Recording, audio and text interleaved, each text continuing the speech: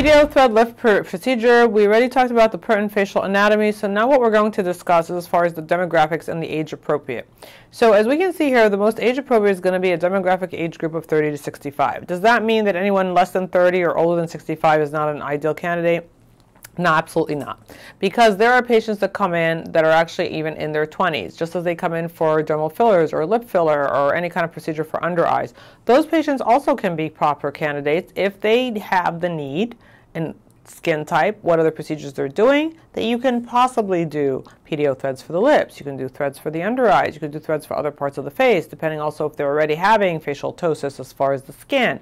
You also may see that in some people who are runners. So there is no set age as to what's the most appropriate. This is just a guideline. And anyone over 65, I have seen plenty of patients that come into my office that are over 65 who've taken good care of their skin. They're doing their constant lasers, they're doing their skincare, and they have great quality and they get great results. And I still do PDO threads for them, especially because of the fact that even the smoothing threads are good for almost everyone of any age because of the fact that they will constantly stimulate collagen. And when you're stimulating collagen, it actually thickens the skin improves the quality of the skin, the texture, the pores, the fine lines, and it brings back some of the lost elasticity because after the age of 25, we all start losing collagen and elastin in our skin naturally. So PDO threads is something that we can also use in order to help that in conjunction with all the other aesthetic procedures in our aesthetic toolbox, such as when we're doing PRP, microneedling, whether it's radiofrequency or non-radiofrequency microneedling, as well as doing your dermal fillers and your neuromodulators. So PDO threads is another adjunctive therapy. Preferable to have no prior plastic surgery in the area being treated, and it's okay to have previous injections with neurotoxins greater than two weeks prior. So, that being said, does that mean that if somebody has had a facelift that they are not a candidate? That's absolutely not true because of the fact that patients who have had facelifts want to maintain the quality and the results of the facelift. The rule of thumb, though, is that if a patient has had a facelift, I will not go ahead and do any kind of an aesthetic procedure on them before they one year post facelift. And why is that?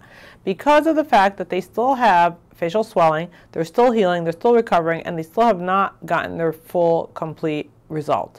And at the same time, in our world of plastic surgery, what we tend to do is that we will reassess the patients, and within that one year, patients, if they need anything to be fixed, tweaked, or readdressed, then the surgeon will do that. So you really do not want to be introducing any possible procedure to them at that point, because if there is any kind of a complication, it will be a result of the procedure that you did, even if it's not truly directly a result of the procedure that you're offering them. So it's best to just steer away from that till it's been a year later.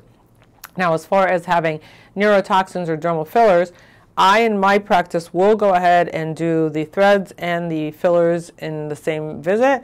The neurotoxin I usually will do and then have them come back two weeks later in order to get their PDO threads. If they want to do the PDO threads first, especially because of the fact then I want to see what their results are, then I will have them wait two weeks. So two weeks is the ideal time between procedures. The candidates that are some or all can be considered as far as patient models. If they have mild to moderate uh, ptosis of the cheek areas, if they have mild to moderate jowling and descent of the lower third of the face, uh, brow ptosis, if they have neck cutaneous bands, which we refer to as the platysmal bands, there's techniques for that using the PDO threads in combination with your neuromodulator.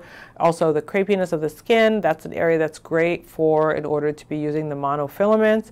Uh, mild to moderate ptosis of other body areas, that's a very advanced technique, which is also great results. And we also have to make sure that basically patients have realistic expectations and we give them realistic goals in order for them to get the most optimal results.